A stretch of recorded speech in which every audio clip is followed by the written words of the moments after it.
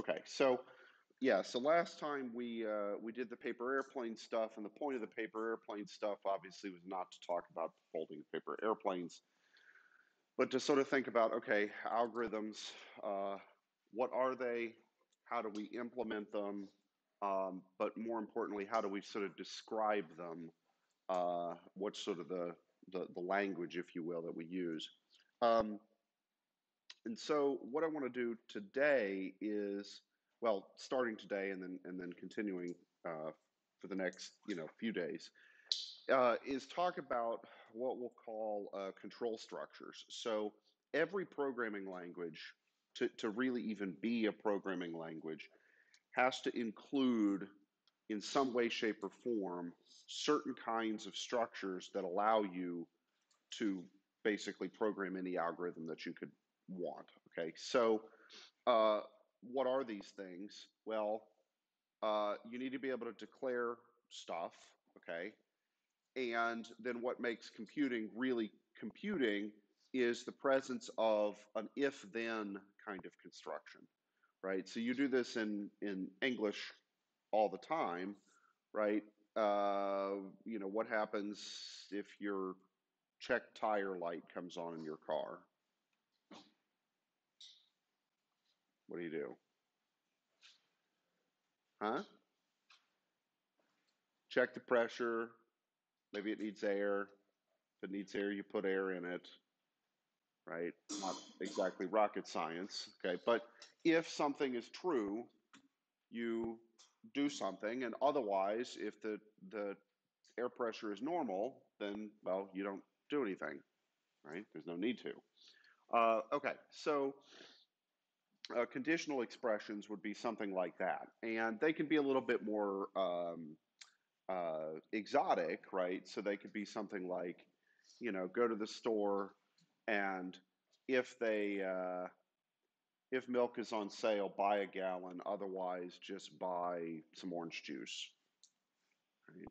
That's kind of a silly example, but where it's, you know, you're making a decision to do go one way versus the other. Okay. Um, and then the the third thing that we, we sort of talked about with um, uh, using the Lego uh, instruction books as the example would be on, on occasion you want to do a certain procedure and repeat it however many times. Uh, maybe a specific number of times that you know in advance, maybe uh, a number of times until some condition is met. Uh, and so we'll, we'll talk about how you can do uh, that sort of stuff. And then um, to really throw your brain into a tizzy, we'll talk about recursion, which is my favorite, uh, but uh, tends to give guys headaches. So uh, the days that we talk about recursion, make sure to bring some ibuprofen with you because you will have a headache afterwards.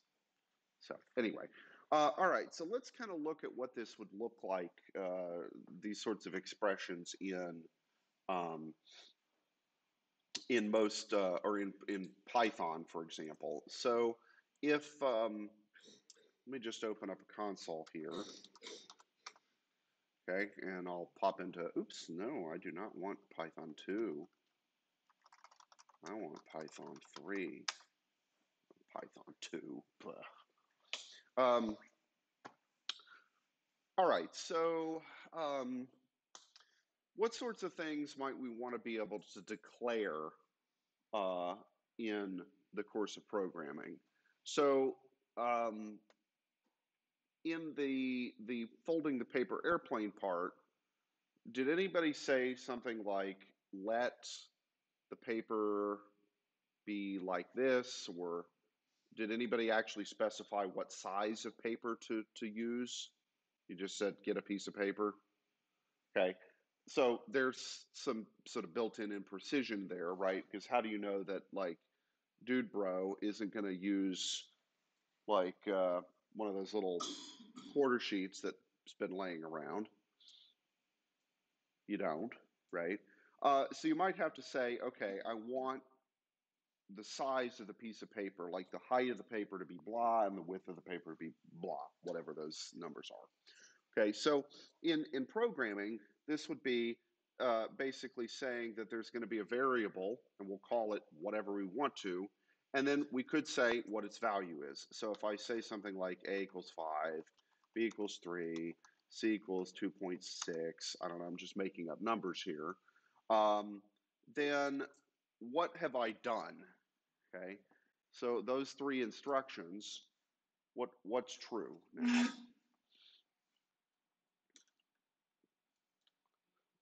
Yeah, so I've declared the existence of a variable called a, and its value is 5, and b is 3, and c is 2.6. Okay, great. And so now, anytime in the program that I write an expression involving a, b, and c, then whatever those numbers are, are going to get plopped in in place of a, b, and c. So it's kind of like, you know, algebra, right? If I give you some big formula involving a, b, and c, like the quadratic formula, for example, and then say, okay, here's what A, B, and C are, do it, well, then great, you can do that. Um, so, and yeah, so like, for example, I could do, uh, you know, just add them or something, right, whatever, uh, and then it's going to give me the, the output. Uh, okay, uh, these don't obviously have to be numeric things, okay? They could be text things, they could be, um, you know, something more exotic like let sound file equal this particular, you know, piece of music or something that you've chosen. Uh, if in if you want to be really fancy, but you know, for the most part, for at least getting getting going with this, it's, it's mostly going to be numbers or text or you know something kind of like that. Um, now, one thing I don't like about Python, uh, it has a lot of really nice benefits, but one of them that I don't like about it is when I said A equals 5, okay, and then later said C equals 2.6, well, how are those things actually encoded on the computer?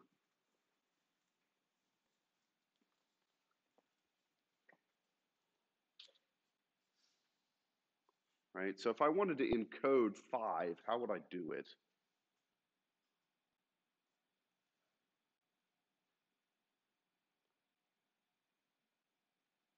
Don't make me get my stick and come around and start beating you guys over the head. Right? Well, what kind of number is 5? Yeah, okay, so am I going to encode it as an integer? How many bits? Well, we need to decide that. Okay, Python has decided that. Okay, but one of the things that I don't like about Python is it sort of hides how the stuff is actually encoded. Okay, so for example, the number five, is this encoded as an integer or as a floating point number? Is it at all clear to us right now? No, we know that the number five is an integer, but that doesn't mean it's encoded as an integer. Maybe it encoded it as 5.0, sort of in the background. Yeah. Um, but what about, say, C being 2.6? What does that definitely have to be encoded as? It's got to be a float because you can't do 2.6 as an integer. Okay, now, how many bits? Well, probably 32 or maybe 64, okay, whatever, but it's not really specified here and we don't know. Okay, now let's contrast this with a different language. Um, so let me just kind of plop him here.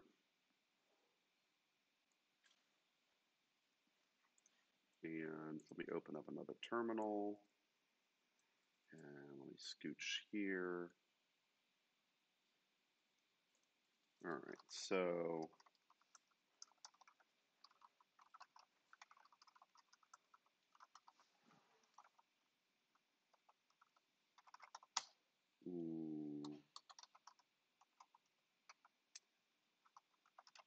All right, so hang on one second.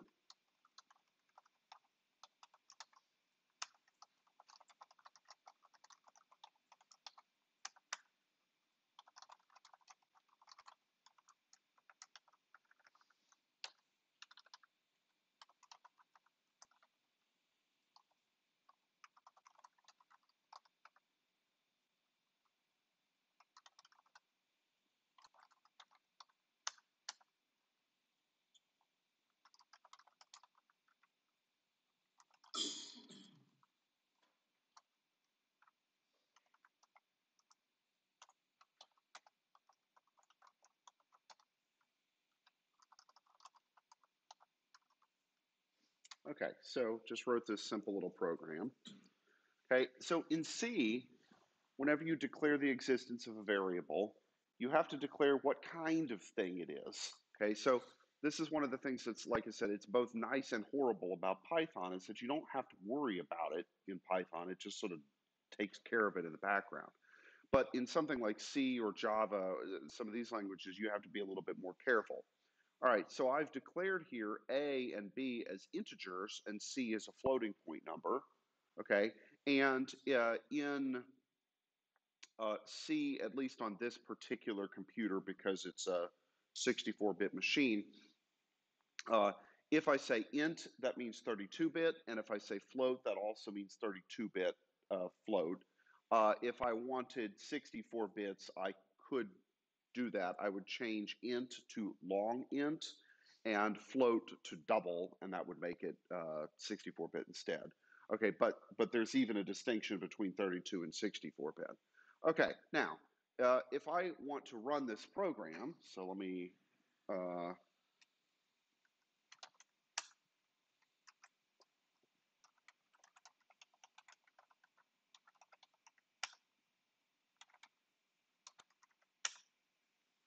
okay, um, it added the numbers together.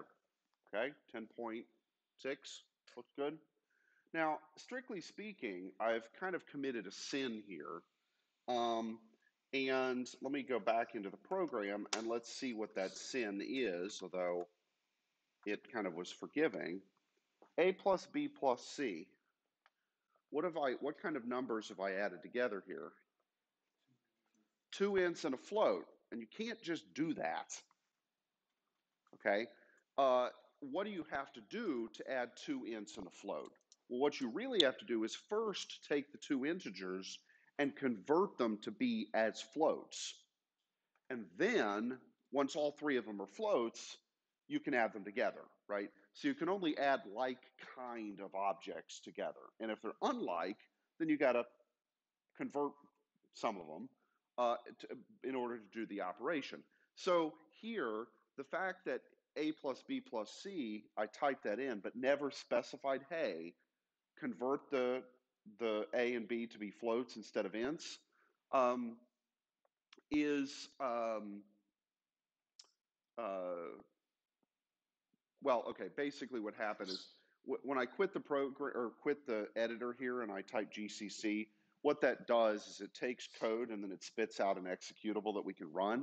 And the compiler, that's what that program is called, um, basically it analyzes your code and says, oh, he, he, he meant to, to convert data types here for sure. So it just did that for me, okay?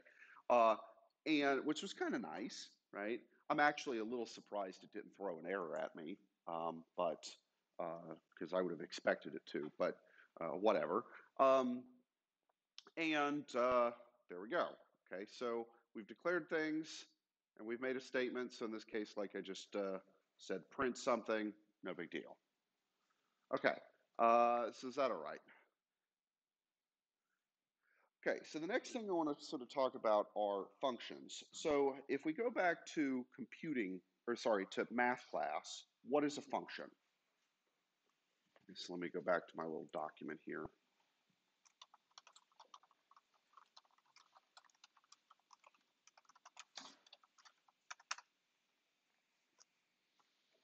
In math class, what's the definition of a function? And of course, we're going to contrast this with what computing class uh, definition of a function is.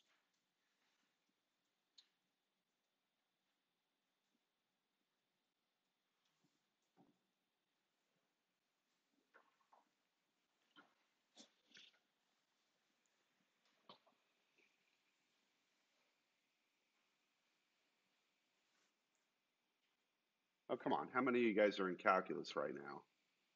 No, there's a few of you because you all hang around for the Gatesathon.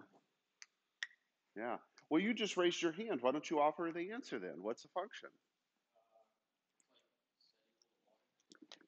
Well, okay, often, yeah, with those are the letters we do. Anything else? Yeah, men?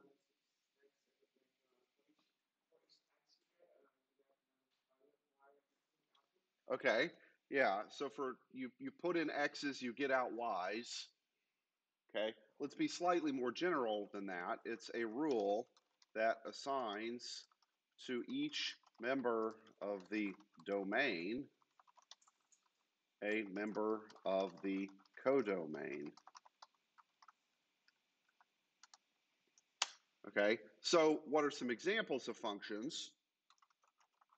Well, let's just take one from math class, something like f of x equals x squared, right?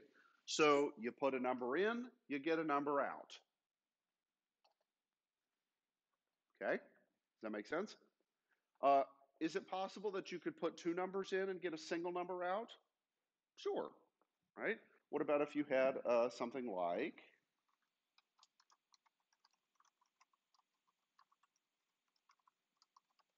something like this? Okay. Uh, now, doing dealing with those kinds of functions in calculus is a little bit more exciting. Uh, is anybody in Calc 2? No? Is anybody in linear algebra? No?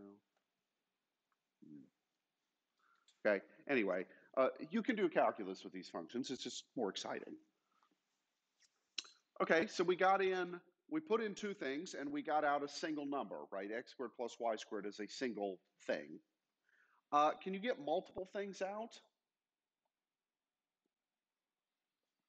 And that's kind of a trick question. I've deliberately worded that poorly. Can you get multiple things out of a function? Eh, not really. Okay. So I'll give you a good example. What's the square root of 9?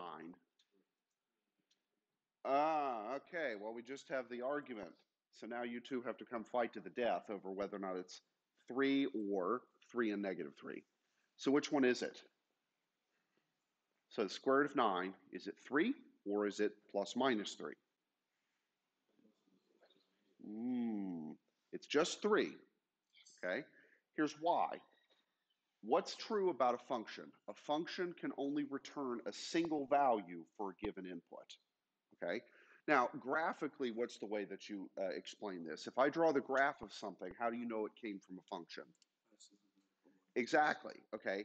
And so if the square root of 9 is both plus and minus 3, then if I drew the graph, I'd have a vertical line that would go, uh, well, the, the line would be x equals 9, and it would go through y equals both plus 3 and minus 3. Well, that fails the vertical line test.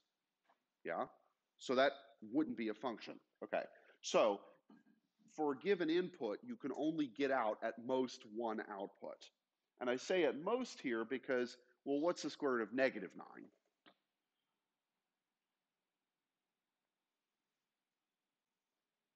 It's not a real number. Okay, so if we're restricting our attention, as we often do in calculus class, to only real numbers, then there just isn't an answer. Okay, and that's okay. Um, now, okay, so uh, the square root thing. So let's just say that.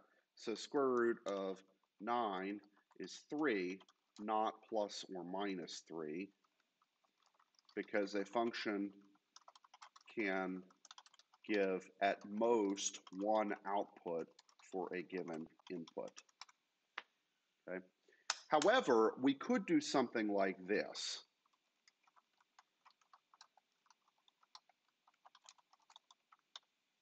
Oops, bad habit. Okay.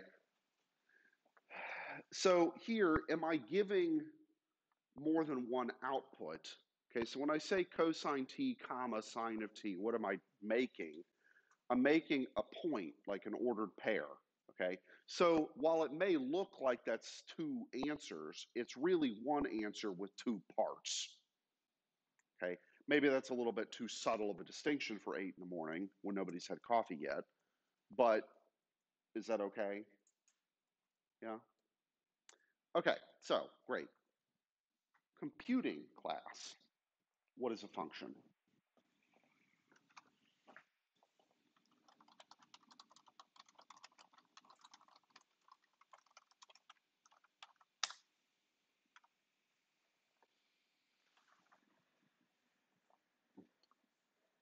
Okay, so what do you guys think?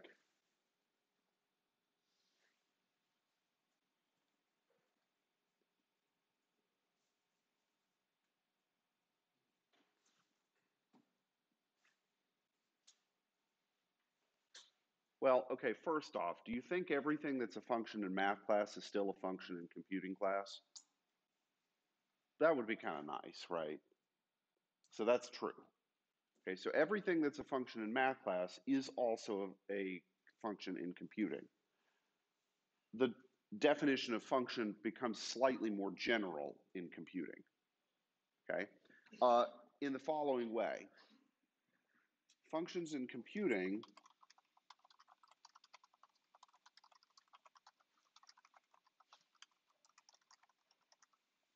They don't have to actually take things in or spit things out. Okay, it can just be a list of instructions. Okay, so for example, um, I could make a function that just declares the existence of A, B, and C.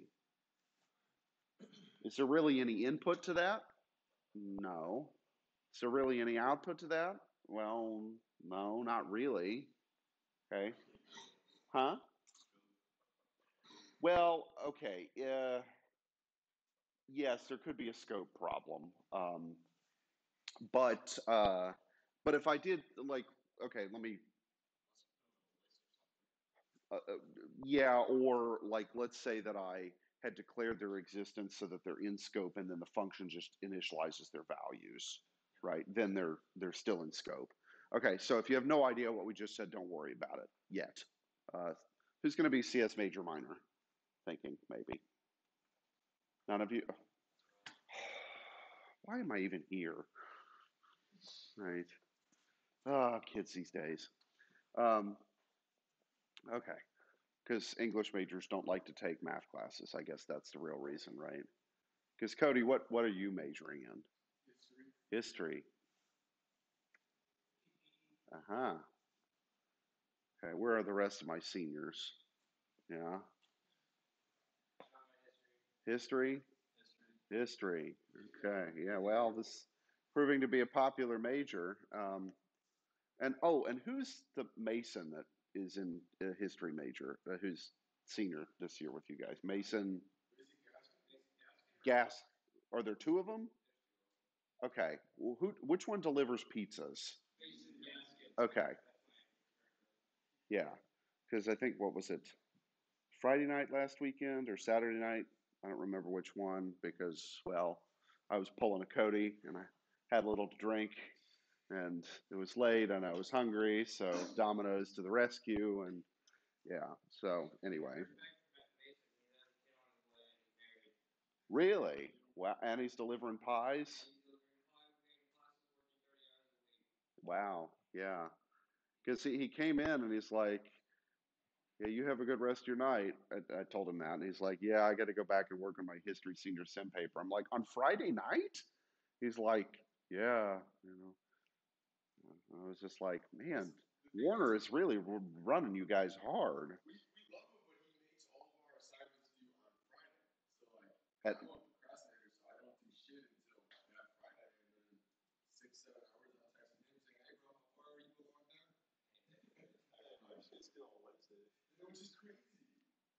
what are you in two different sections of senior sim or something? Okay.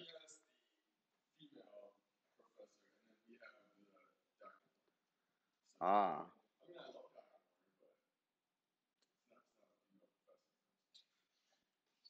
hey, you best be you best be careful what you say when it comes to Professor Rhodes. Okay, because oh, right, right, okay, because yes, Professor Rhodes could, uh, you know, turn you into a pile of broken body parts. Um, no, yeah, you don't you don't want to mess with her. Uh, one of these days, I'm just expecting her to ride up on a Harley, right? Make for a good photo op, but yeah, no, I love Dr. Rhodes. I uh, a few years ago, she took me with her one of her classes to Paris uh, for an immersion trip over Thanksgiving break. It was fantastically awesome. I had a great time.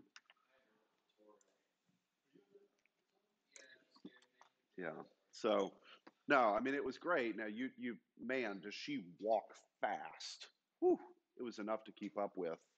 Um, yeah. No, we had a really good time in Paris. Uh, and we ate like kings.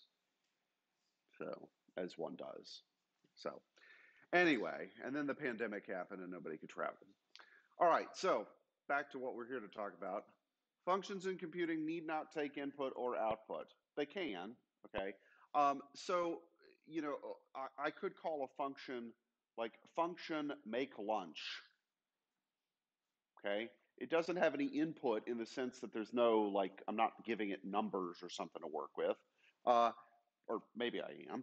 Uh, and it doesn't necessarily have output in the sense that I'm not returning numbers or anything, okay? So maybe my instruction or function is like make lunch for X number of people, okay? And you're in the fraternity house, and uh, I don't know, what do you guys tend to have for lunch?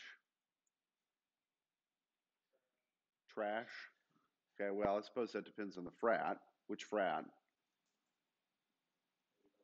Ah, yeah. That's the alternative, right? Well, if you want to eat like kings, right? We've already established you go to Fiji, uh, because Daddy's got the platinum card.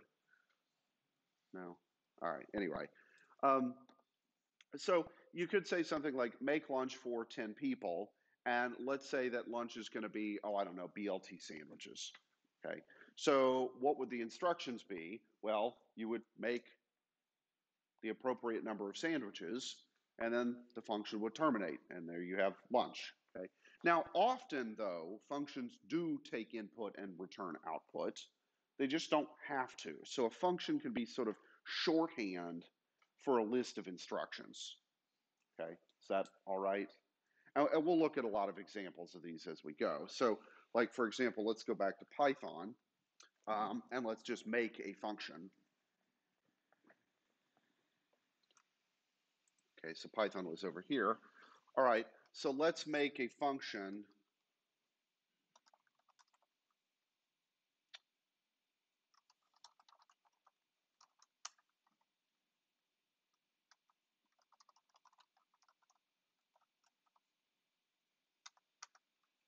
Okay, so now if I type my func of one, two, three, what's going to come out of that?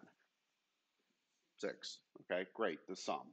All right, so this is a this would be an example of a, a function that's kind of like a math class style function, right?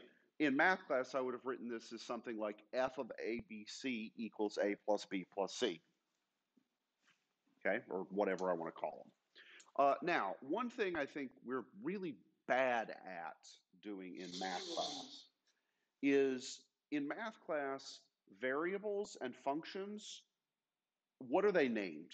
What do we name variables? What do we name functions in math class? There's sort of some conventions to it, but what like what kinds of things do we name functions and, and variables? Yeah, we use letters. Okay, great. Uh, X, Y, Z, A, B, C, right? What, what kind of letters do we use for functions typically? X and Y possibly, or F and G and H and things of that sort, right? Uh, every now and then the Greek alphabet gets involved, right? So, for example, if you have uh, angles, often we use Greek letters for those. Doesn't have to be, but that's oftentimes what we do. Um, but point being, we typically in math use a single letter for any variable and any function's name. Single letter, right? And this is why we sometimes have to resort to using the Greek alphabet because, of course, how many letters are there in the English alphabet? 26, okay? That's a fair number of letters, but it's not not enough. Okay, so we throw the Greek ones in there. And you know you're having a really bad day when the uh, Hebrew alphabet gets involved in math, okay? Because it means you've run out of two alphabets worth of letters and you're now on your third. Yeah, no. It's not not as bad as it seems. Um, yeah, okay, but we always ever we only ever use one letter for any variable or any function name in math class for the most part. Do we have to? Like, is there some rule that thou shalt only use one letter for variable names? No, it's just that typically that's fine. We don't need more than one letter. Okay. Now, in computing, though, uh, quite rarely do you use a single letter, at least for function names. For variable values, yeah, we still do, like A, B, C, but I don't have to. I could make it like dx equals 2 or uh, width equals 7 or whatever. It can be kind of whatever whatever you want it to be. Um, okay, uh, so yeah, uh, that's maybe one slight difference. And uh, I, I, think the reason that we have to do that in computing is because there's, it, it, particularly if you're writing a big program, there's going to be way more functions, and you want to be a little bit more descriptive as to what you're you're working with. Whereas in math class, like let's say you're doing a, a particular calculus problem, well, there might only really be one or two functions that you're worried about at the moment, and maybe three or four variables. And then you get to the next problem, and everything sort of resets, and you don't have to worry about it anymore. Okay, but if you were right, like oh, I don't know, writing your dissertation in mathematics, then maybe this would be a big, bigger problem. Okay, so I, I, think we mathematicians don't do a very good job of saying that, you know, functions and variables can be called whatever you want them. It's just that for convenience in math and because of lack of necessity, we usually just only use a single letter. Okay, but in computing, that's sort of a bad habit to, to get into, particularly with function names. Okay, so that's how I define this function in Python. Let's look at how I might define it in C. Um, and so let's go over to the other thing.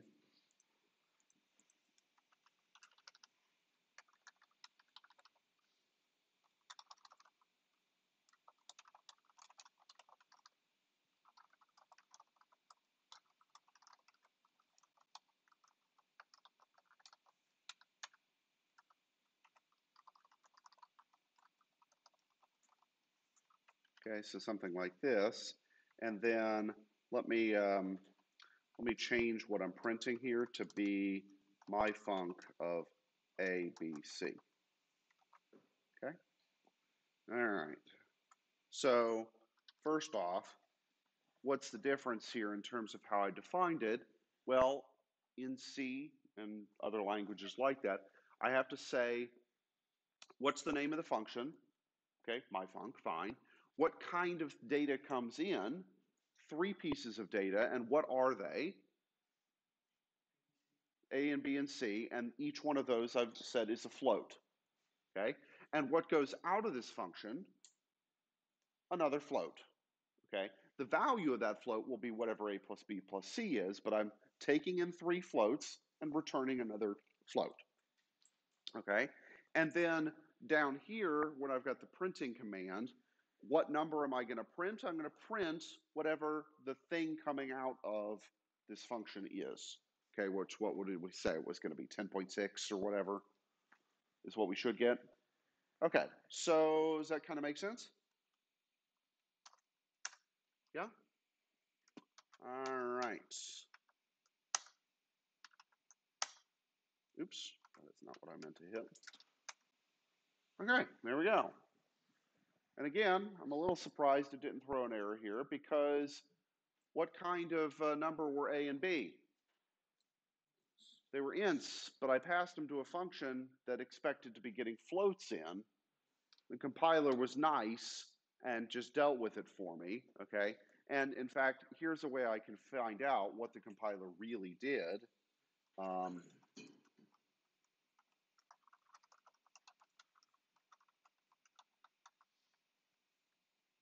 Oops.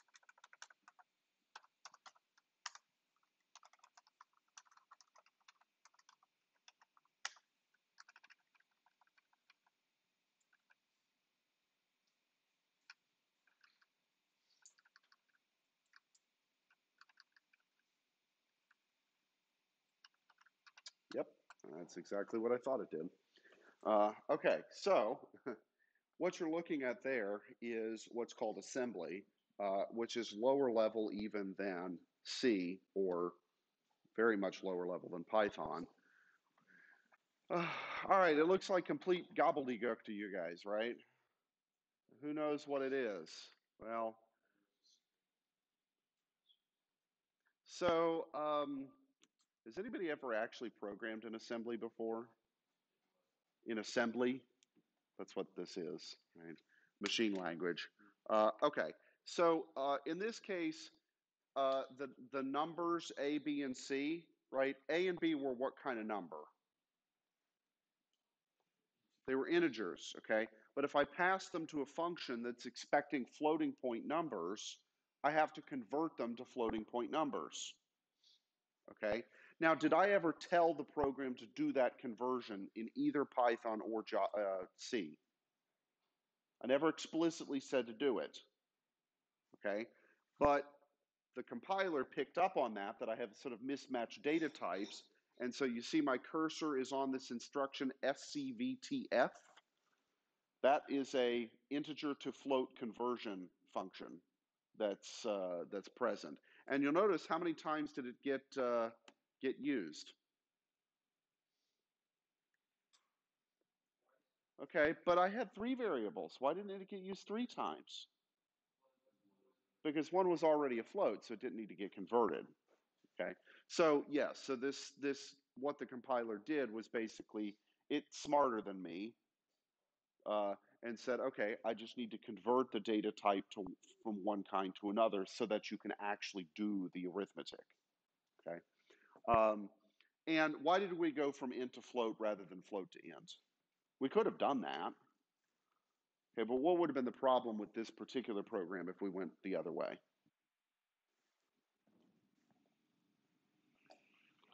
Well, what was one of the numbers?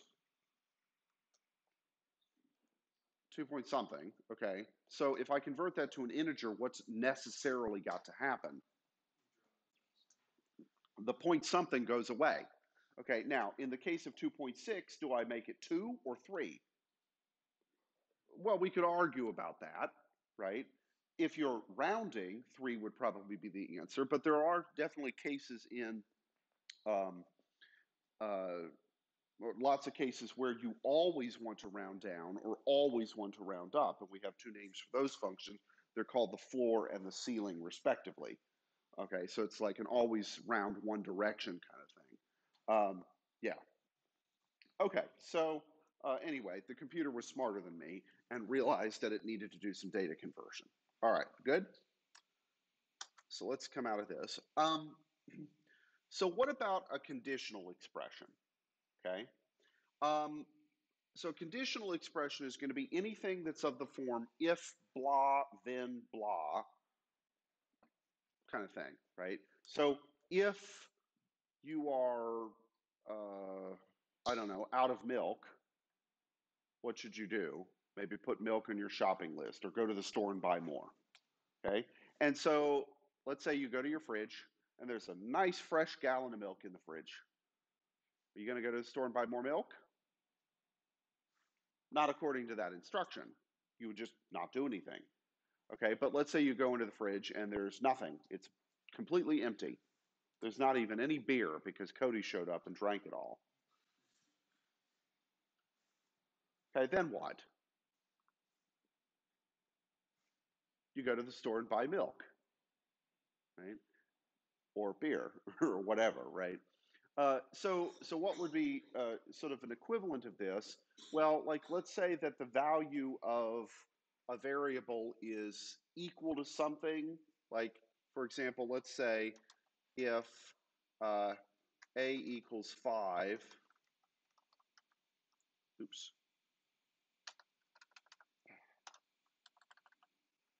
Womp womp. I know. They'll just hire anybody. Yeah. You fool, you fell for one of the classic blunders.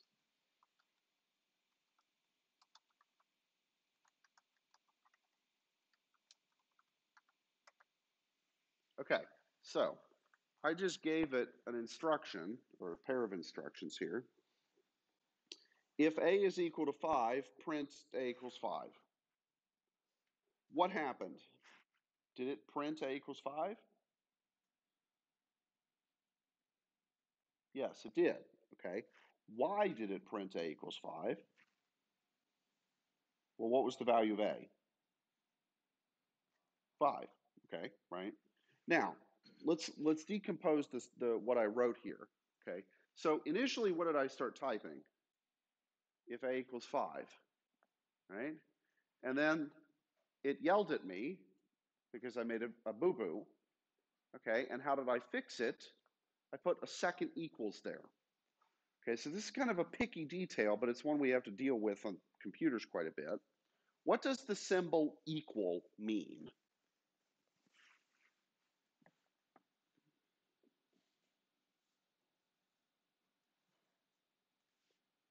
I know it almost sounds like such a stupid question when you say it, but yeah, it's equal. Yeah, I know. You can't use the word equal if I'm asking you to define equal. Yeah, okay. So uh, we use the symbol equal in two different senses mathematically, right? We use it to assign the value of something, okay? And in math, we typically also have English words with this. So I might say, let x equal 7, okay? That's different than saying, uh, if x equals 7, then we know that the perimeter of the triangle is greater than 12 or whatever, right? Just some statement, okay? So in math, we use equal in two senses. We use it as an assignment symbol, okay? Let x have the value of 7. And we also use it to say, well, is x equal to 7? Yes or no? Okay, that's ambiguous. And if there's anything that computers don't like, it's ambiguity. Okay, so in computing world, we have two, we need two different symbols for this. And the convention is if you are assigning the value of something, you use a single equal. Okay, so up there at the top, right, I had A equals 5, B equals 3, C equals 2.6, and so on. Okay, if I want to check whether or not something is in fact equal to something else, the convention is that we use double equals. Okay, so, and, and the, the difference here is the double equaled version is something that is either a true or false statement only, right? The number A is either equal to 5 or it isn't. Okay, whereas saying let A equals 5 is a different thing. Yeah? Okay. Um, and in this case, why did the, the, the print instruction actually get executed? Well, because the condition that A was equal to 5 was true. All right? Whereas if I did something like, um,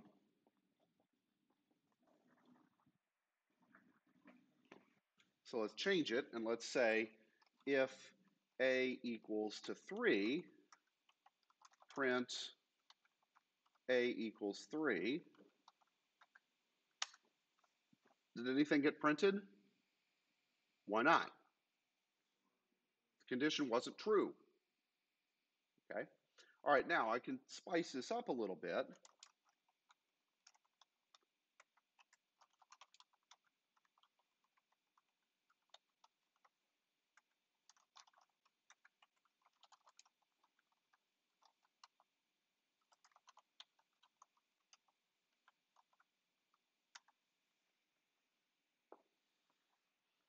Okay, so what did I throw in here?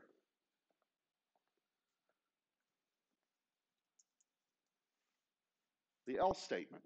Okay, so A is either equal to 3 or it isn't, right?